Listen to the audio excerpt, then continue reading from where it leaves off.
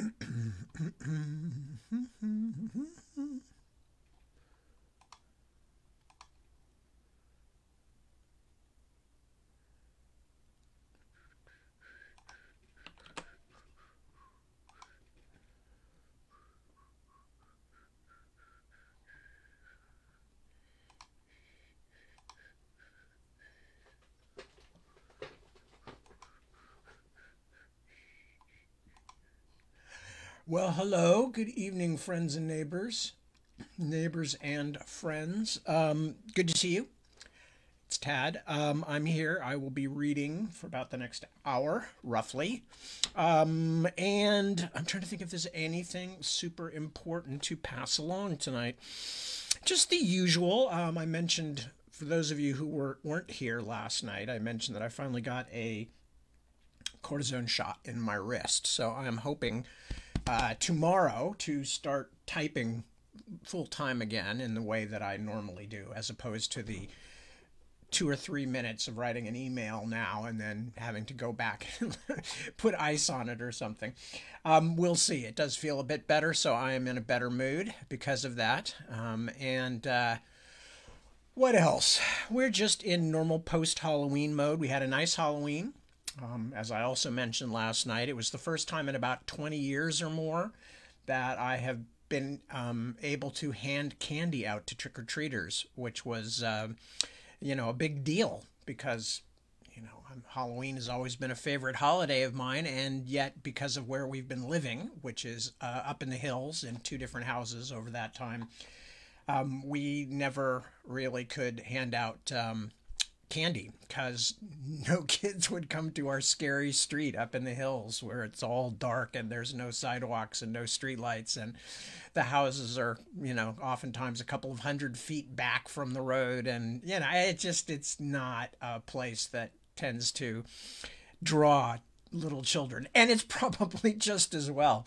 Um, not that we would have done anything to them, but you know, I mean, it's not really uh, the kind of neighborhood you would want your kids wandering around in just because it's up in the middle of nowhere, and we have coyotes and bobcats, and even occasionally a mountain lion. So um, that's uh, not the kind of place you want to turn your kids loose with a with a bag full of sugary sweets and say, "We'll see you in a few hours, kids." So, anyway, it was good fun being down here in the flatlands and being able to hand out candy to uh, children of different sizes, not just small children, big children, medium sized children, all kinds of children. And um, actually figured the candy right, which is always difficult because if you're like me, and if you were raised by my mom especially, you have a deep seated horror of ever running out of things to give to people. And that's whether that is Halloween candy or Christmas presents or food at a family dinner. That that was like my mom's worst nightmare was not having enough. So we always as a family err on the side of getting too much or having too many or whatever the case may be. And um, in this particular case, uh, we, we did all right. We did all right. We had enough candy for everybody and a little bit left over. Um, so, hey, success.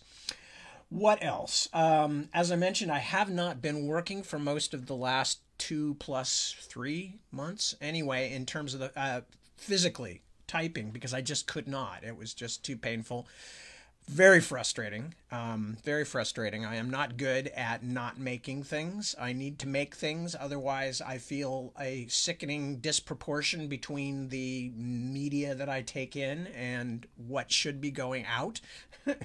you know, in the sense of the the give and take of of real life. Um, I'm a big. I have a big, strong feeling always that I should be making things.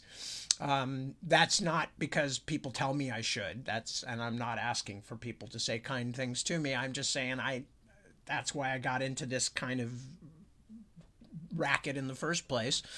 Um, when I was young, I had only a few goals, but they were mostly centered around wanting to make things for for a living, um, creative things. You know, whether that be drawing or acting or uh, writing, as it turned out, or music. And as a result, um, that has always been a super strong part of my character. Uh, along with the desire to be able to sleep in as late as I want to, stay up as late as I want to, and wear the clothes that I want to wear when I want to. Um, because I had many years of wearing suits and ties and stuff like that when I was first in the working world. So, um, oh, by the way, speaking of, here, let me just show you this because I know people always ask about what shirts I'm wearing. Um, and this is my Palo Alto High Dropout. And yes, I did go to Palo Alto High School. No, I did not drop out. And this was given to me by my friend Rick, who also didn't drop out. But we certainly missed a lot of the last few years of our tenure there. Hey, it was the 70s. Um, enough said. Anyway, so what was I rattling and babbling on about? So anyway, so yeah, so it's been a tough few months, and I had just gone through this before COVID um, because I had a shoulder operation, which got put off for months and months, and then I finally had it, and then I had months of recovering, and again couldn't work, and I was just going nuts, and um, that's one of the really good things about doing what I do for a living. I can't guarantee people will always want to read what I'm writing, but at least I know nobody will be able to tell me stop doing your job. Here is uh, you know, here is your your goodbye party and here we have this cake and blah blah blah and don't let the door hit you in the ass on your way out. Um, I will work until I'm dead, probably, or failing that until I don't realize I'm alive, however that works out. Um, so, you know, thank goodness, because I still think I'm capable of doing good work, and um, and I need to. I need to. I'm sure many of you are the same way, whether it be with a specific thing like a, a creative thing or um, crafting or whatever. Like my wife Deborah is much the same in the sense that she must work. It's a big part of her personhood and who she feels she is. And she gets kind of sick, um, you know, in the sense of not feeling right if she can't work on things and if she can't express her creativity. So I'm sure there's a lot of you out there like that, and and you understand very well how that feels. But it's been a difficult last three months because I've got things stacking up. I've got Ordinary Farm, I've got The Splintered Sun, I've got you know some other projects that I'm interested in, and they're all kind of sitting there like airplanes waiting to land um, because I haven't been able to type for more than a couple of minutes at a stretch. And then, as I said, I have to go and put ice on myself or lie down or something. So it's very nice getting back to that, um, which I hope. I mean, I'm not there yet, but it definitely feels a little better, and it's not painful at the moment, which is what it has been continuously for months. Um, this is my wrist, but it's it's everything. How, how, how much is too much information? I've probably already given too much boring information about my health stuff. It, it's I have a lot of inflammatory stuff, and when one joint goes, the whole the whole system goes kaboom, or kerplunk, or kaput, and you know everything gets inflamed, and everything hurts, and everything is difficult, and blah blah blah. So sometimes just cooling down the worst area um, turns off some of that um, not just the inflammatory system, but the immune system, the resistance systems, which get overamped and get crazy. So sometimes if I can just turn one thing, the worst thing off, everything else starts to slowly calm down. So I will know over the next few days whether that's working. But so far, so good. So anyway, let me see who might have popped in to say hello.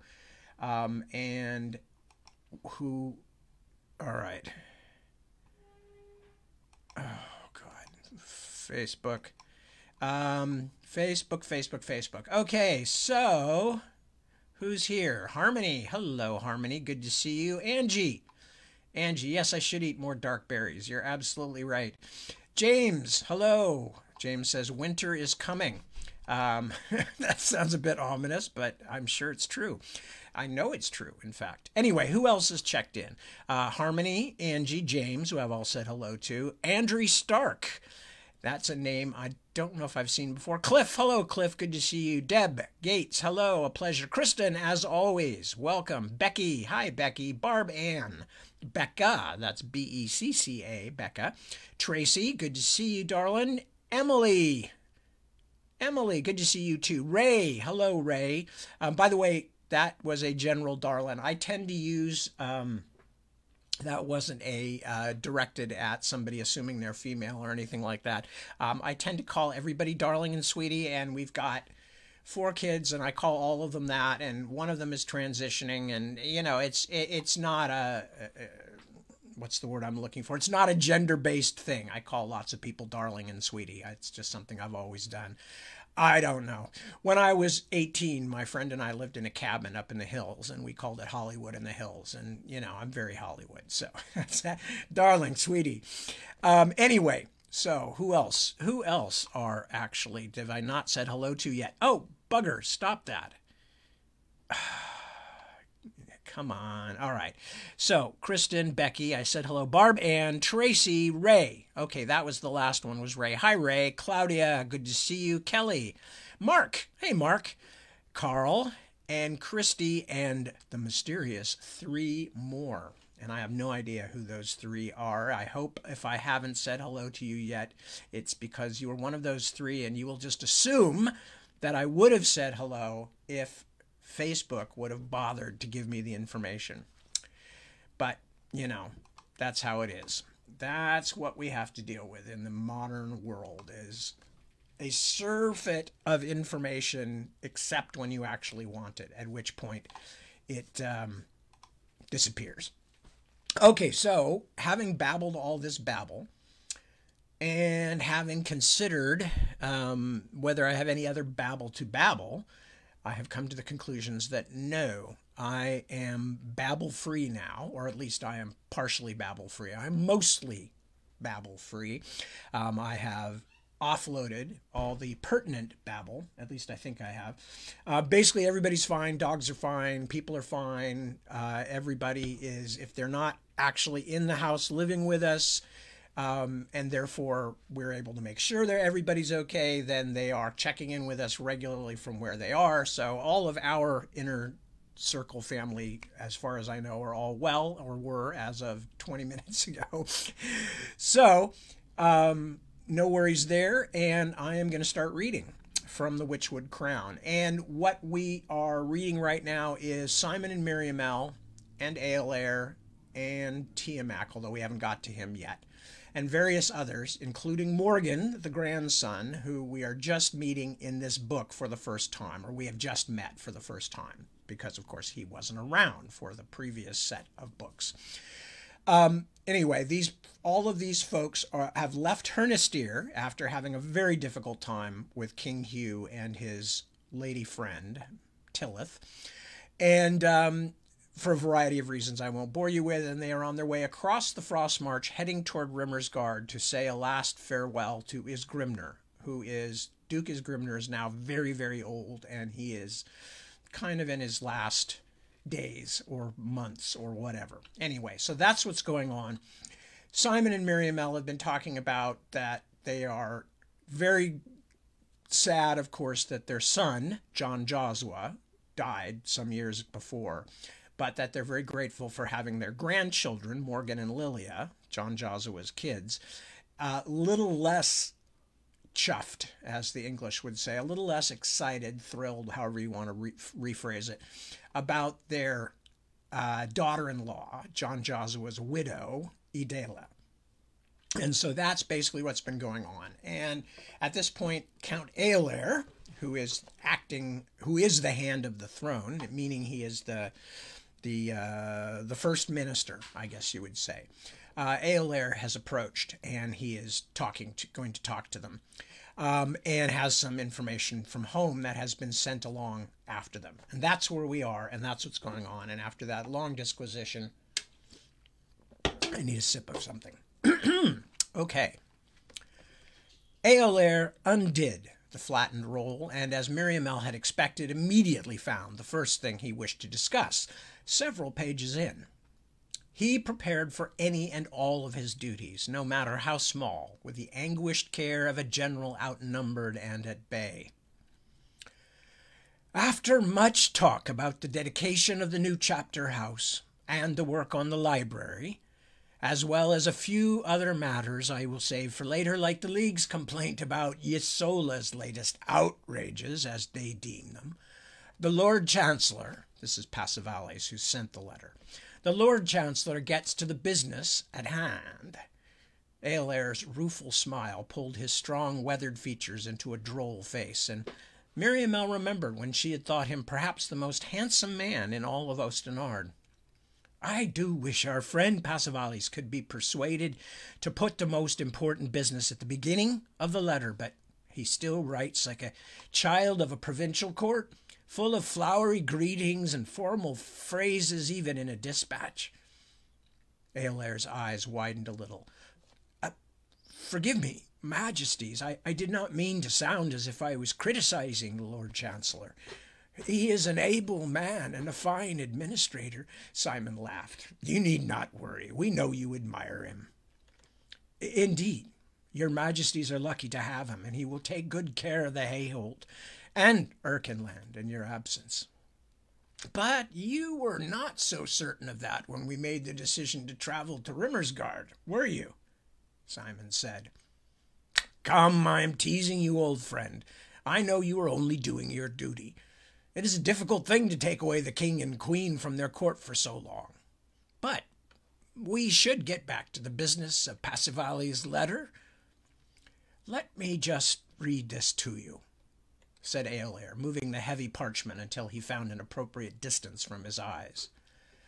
But, my gracious lords and lady, he wrote, I fear the news from your great southern duchy of Nabban is not so good, he began.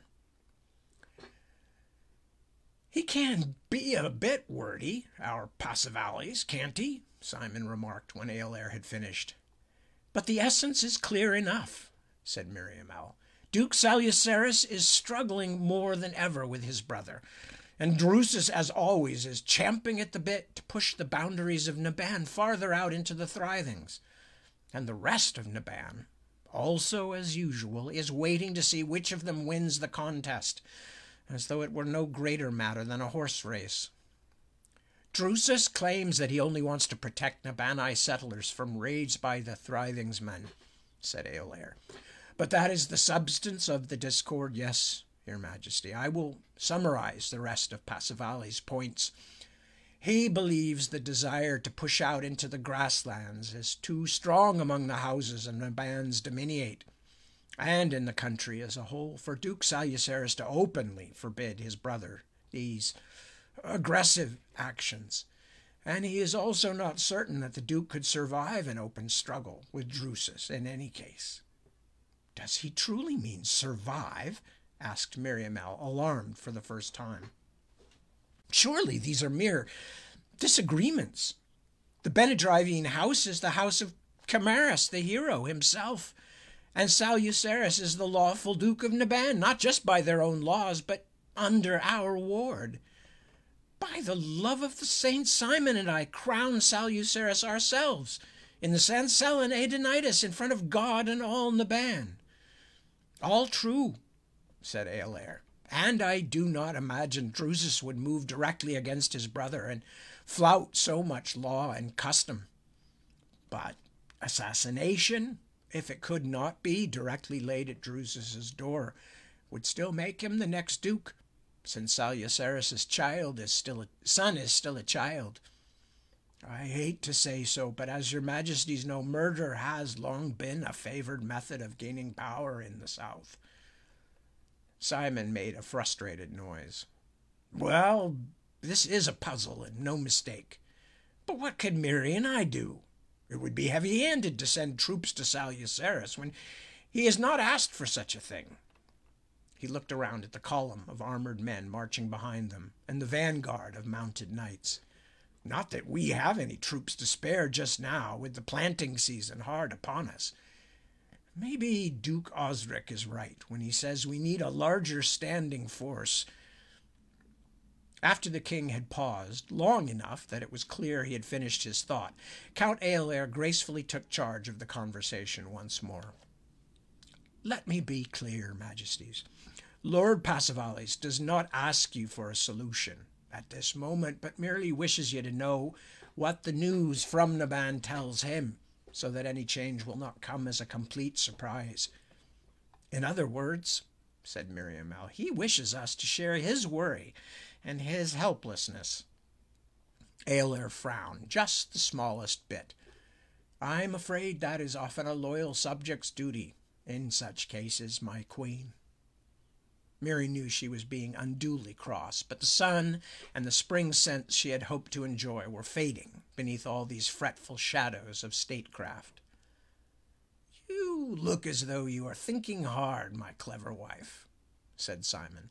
You have been in the band far more than I have, and your family is still powerful there. What should we do? Miriamele shook her head. Clearly, my Nabbanai kin are busy adding fuel to the fire, almost certainly for their own purposes, and I would not trust my cousin, Dallo Ingadaris, even to hold my reins for fear he would steal my horse. But there are still many other Ingadarines I trust. I'll I'll write to them and see how things appear from where they sit, and whether the fight between the brothers is as dangerous as Pasevalles suspects.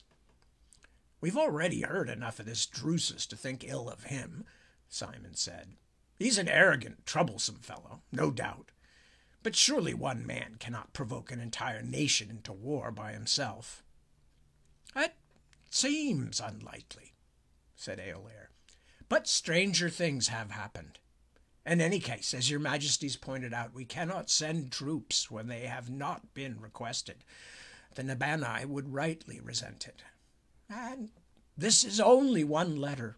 Pasevalles is from Nabban himself, so perhaps he feels its storms more strongly than the rest of us would.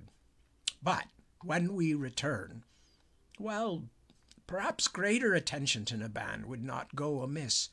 They are a numerous and often quarrelsome people. I beg the Queen's pardon if I offend.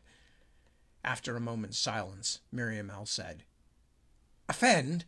No, Eolair, I say it often enough myself. But we've barely begun this journey, and already I see troubles growing everywhere. The sun, though its beams still sparkled on patches of snow, and the sky was empty of clouds, seemed to have grown dimmer. I wish we were home.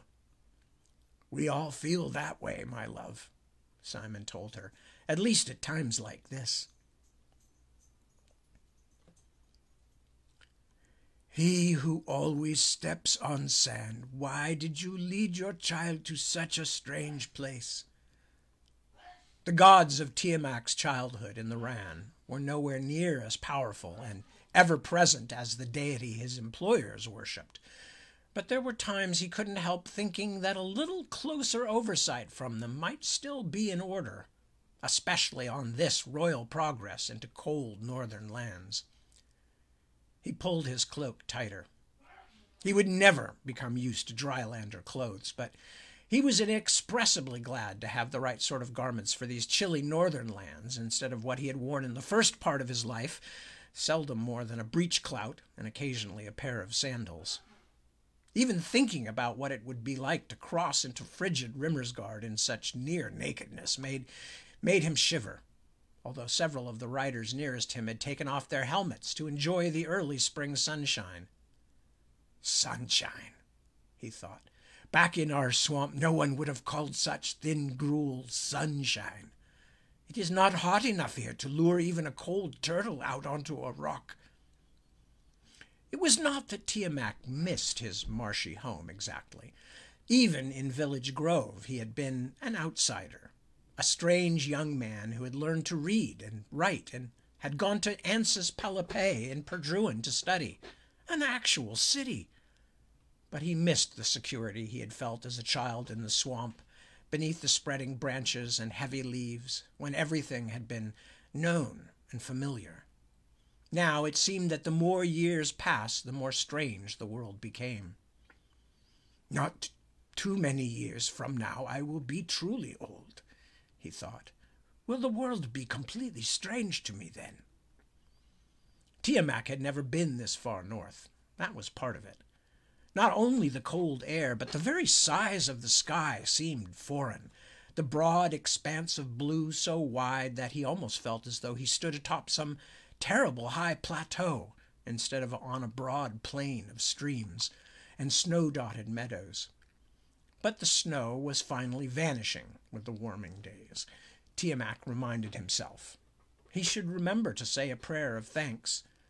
At the same time, last year, as his comrades never wearied of telling him this part of Ostenard had been hip deep in swirling, mounding snow, the skies gray as lead.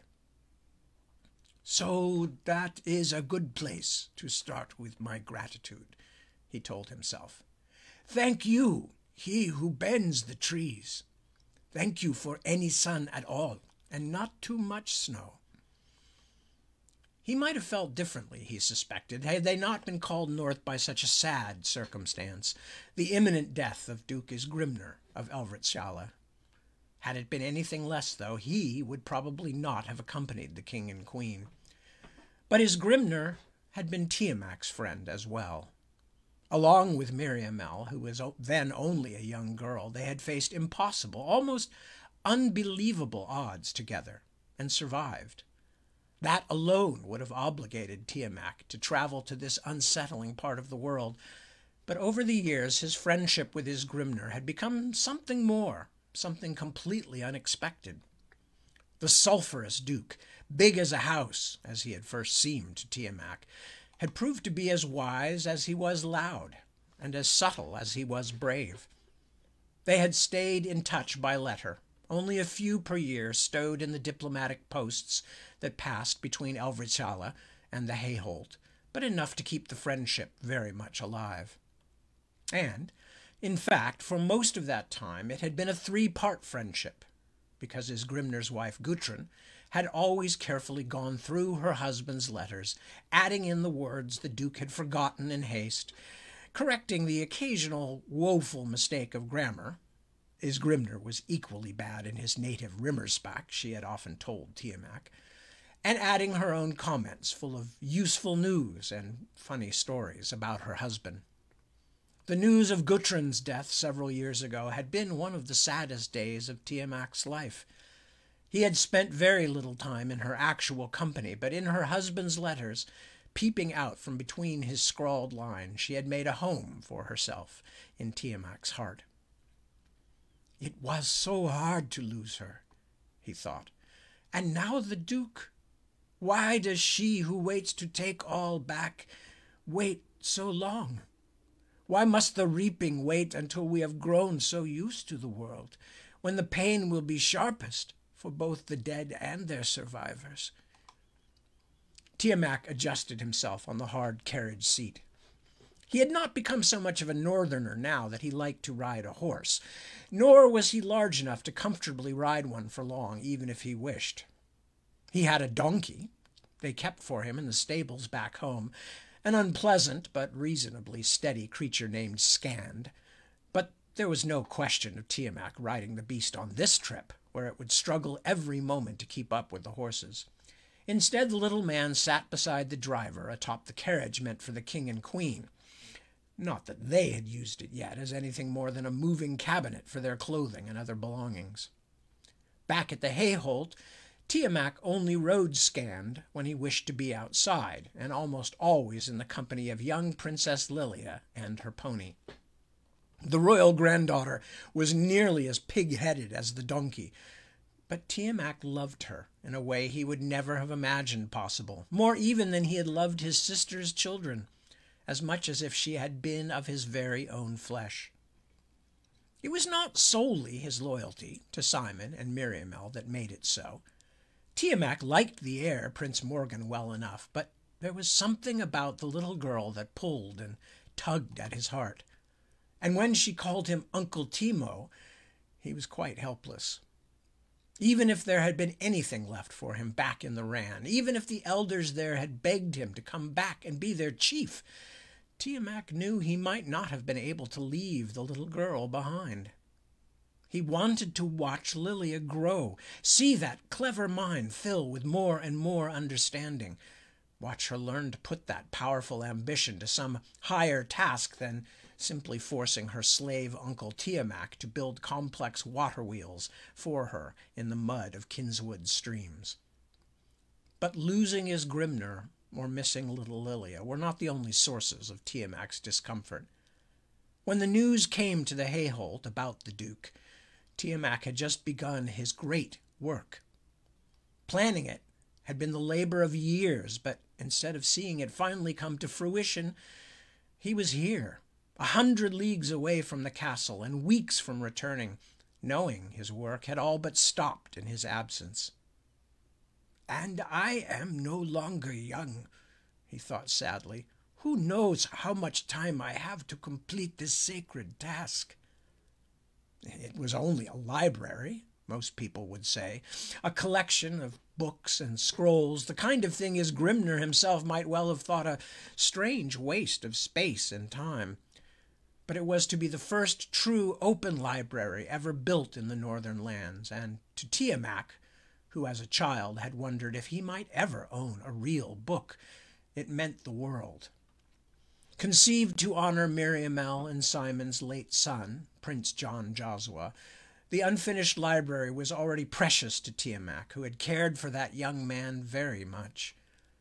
John Josua had loved books and learning as much as the Wrannamen did, and he had ambitions to make it a great center of scholarship in the young prince's name.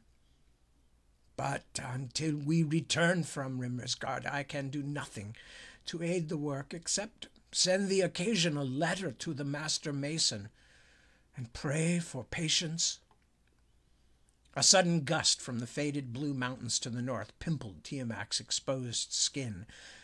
And although the wind had been blowing all day, the strength of this chill surprised him, pushing deep into his very substance, bones and innards. Without even thinking, he made circles of his forefingers and thumbs to repel bad luck, as he had done when he was a child.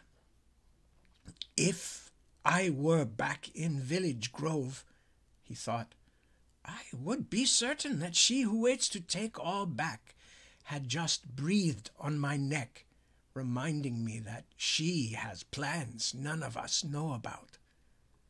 Which was true, of course, as it always was. He was letting sadness over Isgrimnur make him fretful, jumping at shadows, cringing from sharp breezes. While Tiamak was trying to gather back together his hopeful thoughts about the library, he heard someone come riding swiftly up behind him. He looked down from his high seat to see one of Eolair's servants pacing the carriage on a tall, dark horse. Your pardon, Lord Tiamak, the rider said. The Lord Steward bid me give you this. It came with the dispatches from Erkynland. Tiamak looked it over as Eolair's servant rode away, and his heart lightened a bit. He knew who it was from instantly because of the odd seal pressed into the red wax. Instead of a heavy metal stamp or a signet ring, his wife, Thelía, always pressed a small dried flower into the melted wax. Because she had sent the letter several months back in Feyever, she had chosen one of the first wildflowers that bloomed in Erkynland every year, a bright yellow bloom called sunlion or sometimes coltsfoot. He knew she would have picked it herself as she gathered herbs and simples in the castle's gardens, and it should have warmed him just to see its sunbeam petals, still bright despite its long travels. But he was still feeling the effects of the chill that had surprised him a few moments earlier. He unfolded the letter and began reading, hoping for good news, or at least an absence of anything worrisome. Her opening words were in her usual conversational tone. Thelía seemed interested only in sharing various workaday matters, a few decisions on the library materials she hoped he would be able to write back about, and a question about wild marjoram and what he knew of its use in his boyhood home in the Ran. But then he reached the final paragraph. One last thing, my patient husband, a small but odd and interesting tale. I was called in your absence to practice physic on one of the kitchen workers, an old fellow of Hernystiri blood who had fallen into a fit on the floor of the buttery. I do not know if you know him. His name is Riggin, and he is a thin, gnomish fellow, threescore years old or even more, with large bleary eyes and rough skin. He was not badly hurt, but his command of the Westerling tongue is poor, so I asked Countess Rona to help me.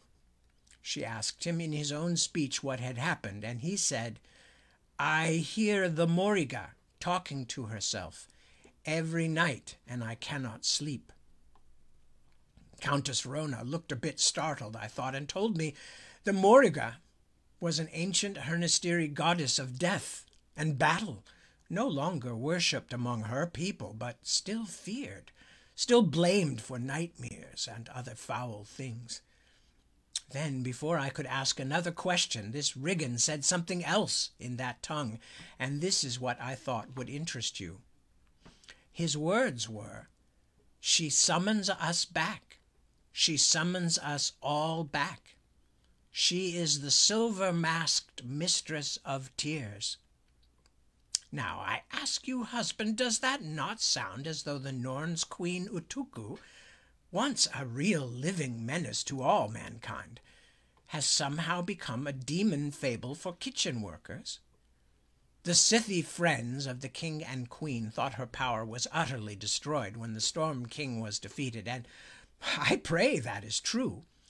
If she is now nothing but a legend, a fading nightmare, then I thank our merciful God for preserving us all from her evil. I did not want to spend long with this man Riggin, once he seemed recovered, because he disturbed me more than a little, with his strange face and goggling fish-like eyes, and it was also disquieting to see calm, wise Countess Rona look so pale at hearing the name of the Morgul, the mother of all demons, as Rona named her. My Adenite sisters would call this man's malady the work of the devil, but my learning has been so shaped by yours, dear Tiamak, that I suppose it instead only the confusion of an illness of his mind, with tales he might have heard in childhood. In fact, I deem it proof of what you always say, my wise husband. Truth and falsehood walk a long way together before they go their separate ways. Had he received her message just a few days earlier, her tale of the kitchen worker's fit would have been a mere curiosity to turn over in his spare moments. But instead, this story of a madman who dreamed of the Norn Queen made Tiamak feel like a traveler abroad at night who hears something following him through the trees.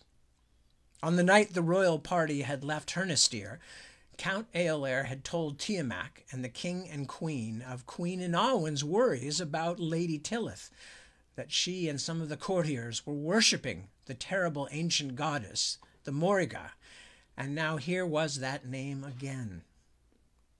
It has to be chance, Tiamak told himself. Eolair himself had said that stories of the goddess were as old as Hernystir itself. But even, even as he soothed himself, his earlier chill returned, and this time without any cold wind to blame the silver masked mistress of tears.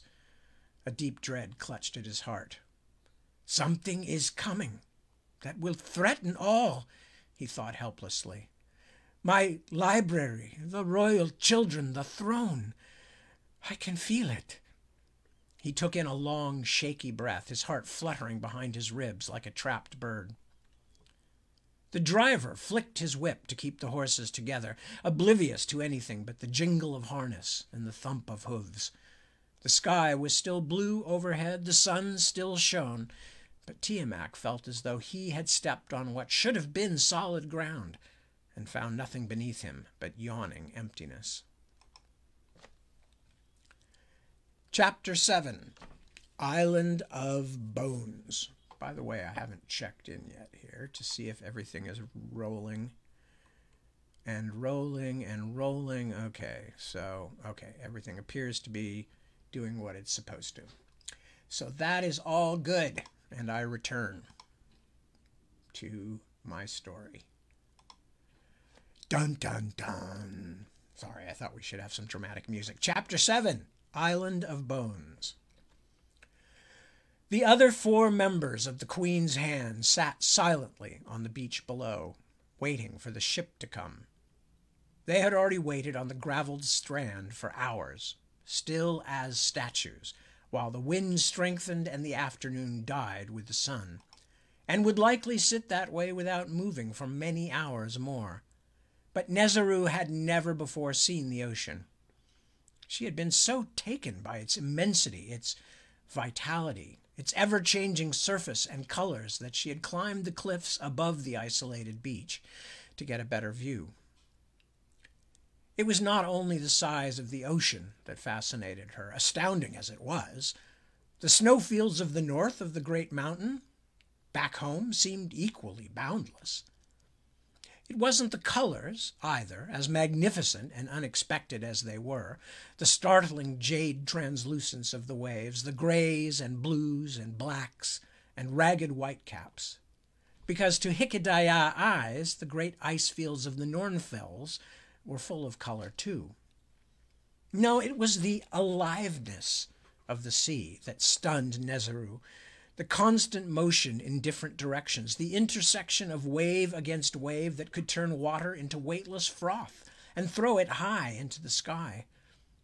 And it was not just the water itself that was alive. Seabirds rose and sank on every swell or drifted above the waves in rotating clouds, their squawking cries filling her ears, filling the sky. Most of them were hunting the silvery fish that sparkled in almost every wave. Life was everywhere. Nezeru knew that if she gathered a sack of Nakkiga barley the size of a house and dumped it onto the snowy ground outside her mountain home, not a thousandth of this array of living things would come to it. There would be crows, a few waxwings, and with nightfall the rats and mice, but the land around Nakkiga could boast nothing like this chaos of noise and movement.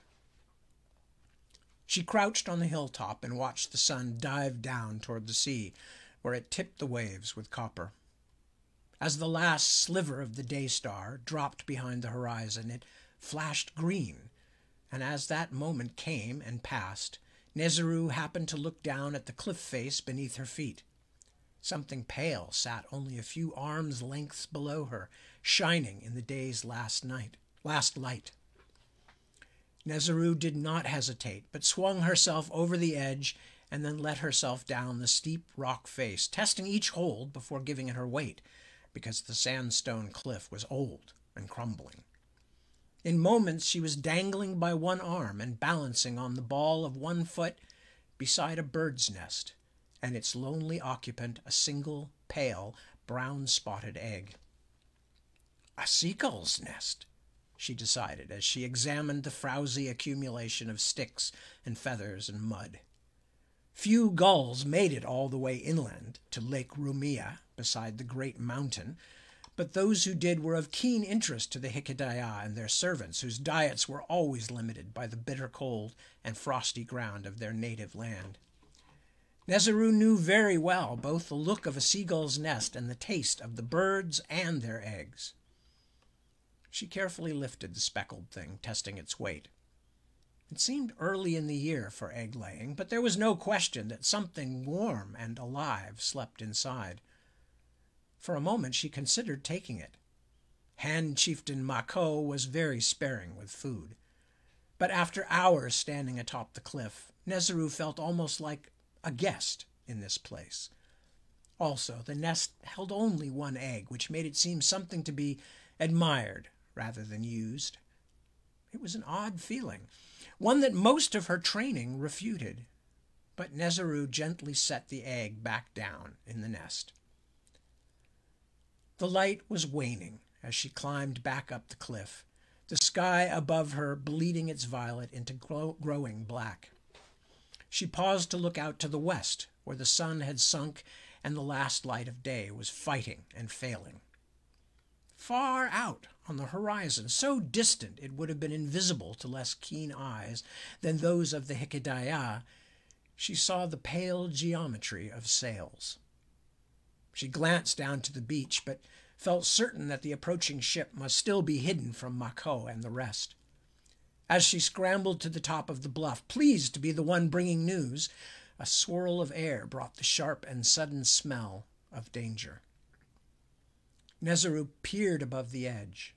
A boar had appeared, out for its evening forage. It was unaware of her, at least for the moment, but she knew that ignorance would not last long.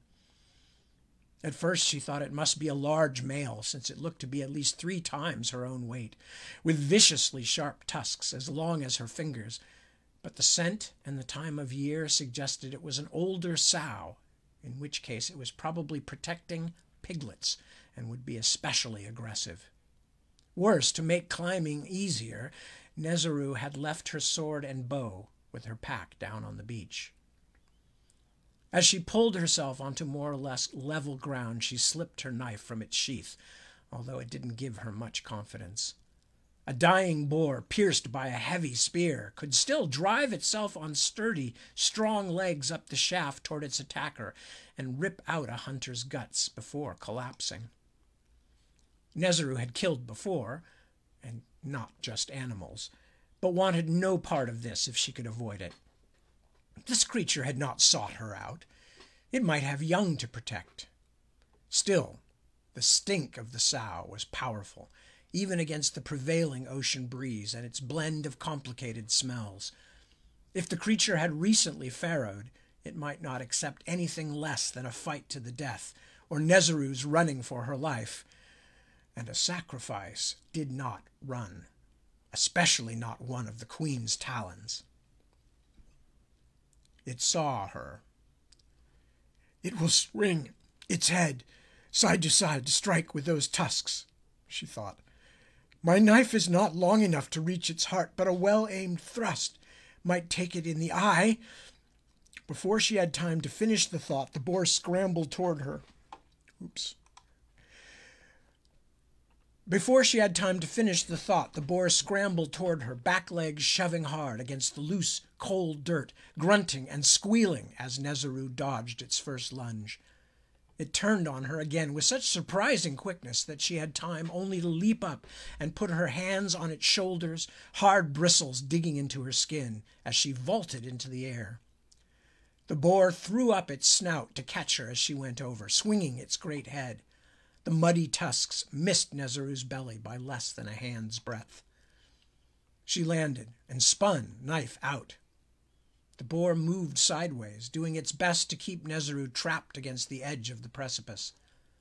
Vegetation was so sparse here that she knew if she was forced over the edge, she would find nothing to grab, nothing to arrest her fall all the way down to the stony beach. Still, leaping over the huge beast had barely worked the first time. If she tried it again, her belly or her leg might well be torn open by one of those deadly ivory scythes. She quickly checked the distance to the cliff's edge behind her, then crouched, knife extended now, tracking the boar's head from side to side. Nezeru decided she would go for the animal's eye, or perhaps, if she was lucky and avoided the first slash of the tusks, make a quick attempt to rip open the belly or the throat. Are you sure you want this, little mother? she asked. I would not take your life except in defense of my own. The angry red eyes gave no hint of similar sentiments. The wild sow shook her head and let out another grating bellow. An instant later, the huge pig was thrown sideways to the ground as if struck by lightning. It let out a shrieking squeal that sounded like the terror cry of a thinking being then began to crawl unsteadily away toward the undergrowth, dragging a long spear shaft through the bloody dirt. Kemme, one of Nezeru's fellow sacrifice warriors, strode forward and set his booted foot on the sow's ribs to yank his spear free. The boar screamed again and its legs kicked, but he seemed to have torn a hole in its guts, and the animal's last struggles ended quickly. He wiped the head of his spear on the bristling hide, then looked up at Nezeru with poorly hidden distaste. The ship is here, he said. Chieftain Makho orders you down to the beach. He set his spear on his shoulder, turned, and walked away without a second glance at the twitching animal. But what about the boar? said Nezeru after a moment, when her surprised, swirling thoughts had turned back into words. We have enough to eat. Kemme was clearly displeased to have to explain himself to a younger sacrifice. A war hand, especially one made up of the Queen's talons, does not drag food around with them as helpless mortals do. But there will be mortals manning the ship, she said. Surely they can find some use for the meat. She did not know if she could carry the dead beast back down the hill by herself, but she was willing to try. It was better than wasting it. Kemme did not even bother to look back at her. Leave it, he said. The ship was anchored far out in the bay. As Nezeru reached the bottom of the cliff a few paces behind Kemme, a longboat rowed by a half dozen bearded men was already nearing the beach. She had no real fear of mortals, but simply seeing so many of them together lifted her hackles. Their hand chieftain Makho was speaking with Ibi Kai of the Order of Echoes, but Nezeru kept her distance, in no hurry to be reprimanded for dallying on the hilltop. She was wondering where the fifth member of their hand had gone when she felt a presence behind her, as though someone or something was about to touch her. She whirled, drawing her knife again. The blade stopped an inch short of the half blood Saomeji's throat. The magician did not blink or lift a hand to defend himself, but his pale lips curled in an expression that might have been amusement. We could not find you, was all he said. Unlike the rest of the Talons, the singer did not wear his cloak with the black side out, now that they had left the snows, but continued to wear the white as proudly as if he were in the singer's order house back in Nakkiga. For someone who is as much of an outsider as Nezeru was, Saomeji never seemed to fear setting himself apart from the rest of the company. Thank you, hand brother, she said, making her words as neutral as possible. She was determined not to give him undue respect, although she feared him, as she feared all his order. No, it was because she feared him that she would give him nothing. I was only atop the cliff, watching for the ship. Saomeji held her gaze. He had strange golden eyes, though his skin was as white as that of any pure blood. Traitor's eyes, they were called back in Nakkiga, because the eyes of the Sithi, the Norns' kinfolk, were that same color, though the two tribes had, been go- had gone their separate ways for a very long time. Such ancient features were scorned among the Hikeda'ya, even though they predominantly occurred in the oldest clans. As another half blood, Nezeru wondered how much Saomeji had suffered for having a mortal parent. Even to ask him, though, would be to create a kind of intimacy in which she had no interest. As she and Saomeji joined the others, Makho stared at her so hard it made her uneasy, his eyes as unfeeling as a hunting eagle's. Nezeru had admired him since she had first joined the order, and had always done her best to emulate his pure mindedness and his mask of stony indifference, but she feared that no matter how hard she tried, the human side of her heritage would keep her from being accepted by him or the others as true Hikeda'ya. Half bloods were plentiful now in Nakkiga, and they always matured far more swiftly than their pure blood counterparts, though they seemed to live nearly as long. Nezeru had become a death sung sacrifice at an age when her untainted peers were scarcely ready to join an order, let alone be granted its highest honors. But the confidence of the insider could never be hers. She was half mortal, and her father, though important, was not even of the order of sacrifice. Only deeds could overcome such a heritage and lift her out of the crime of her diluted blood. The rowers pulled their longboat up onto the strand. Like most mortals who live near the ocean here in the north, they looked to be of Rimmersgard blood, but unlike their kinfolk farther south, who had long ago given up the seafaring life, these so-called black rimmersmen still made their living upon the water, uh, upon the water, trading along the coast and even harrying and robbing any ships of other nations that strayed too far out of safe southern waters. But that was not the only reason these people were scorned by their Rimmersgard kinsmen. The black Rimmersmen had been bound up with the Hikeda'ya for centuries, many of them captured and kept like animals, forced to labor for their Hikeda'ya masters. Slave or free, though, they were usually hated as turncoats by their own mortal kind. At a sign from Makho, the queen's talons climbed silently into the boat, and the staring, clearly frightened mortals rowed them out to the waiting ship. The captain of the Ringleit, a gray bearded mortal with a face browned and cracked by the elements, tried his best to act as though these passengers were nothing unusual. But Nezeru knew that there had been little direct contact between the coastal lands and Nakkiga since the end of the Storm King's War decades ago. These mortals might even have convinced themselves they were no longer the queen's slaves, until Makho and the rest of the Talons appeared in the coastal village and demanded passage to the outer northern islands. The thought filled Nezeru with sour amusement. The captains certainly seemed to know these waters well, because they sailed through the night.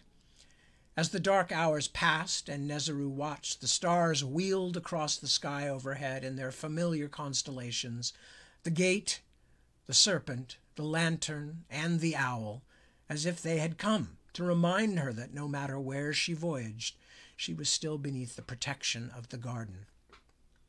When morning came, the land had utterly disappeared, and everything beneath the gray sky was water. Nezeru slept for a while without closing her eyes, letting her thoughts drift. She rose back to awareness to find the sun higher in the sky, but still far from its noon prominence. A short distance away, her chieftain, Makho, was sharpening his witchwood sword, Cold Root, against a polishing stone. She had watched him do it a hundred times since they had left Nakkiga in the previous moon, and still it fascinated her the rigor of his attention, the unshakable sameness of his actions. The sword was well worth the care, of course. Was the sword was well worth the care, of course, a blade of impeccable lineage. Fellow sacrifice Kemme had once told her, in tones of veneration, that it had belonged to a brother of Ekimeniso himself, the queen's revered but long dead husband. More recently, it had been wielded by one of Makho's nearer kin, General Suno'ku, the beloved hero who had died in the Nakkiga siege. Nezeru did her best to watch without too much obvious staring. It was a very bad time to break their leader's attention. Makho had slapped Ibikaya's face once for coughing when Cold Root was unsheathed.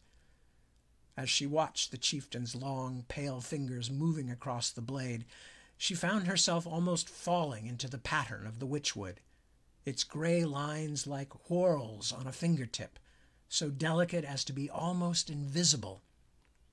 Each witchwood sword was as individual as its wielder. The pattern of the grain differed with each tree. Even discounting ornament, no witchwood sword would ever be the same as another. They were rarer than ever now, since witchwood itself was ever more scarce.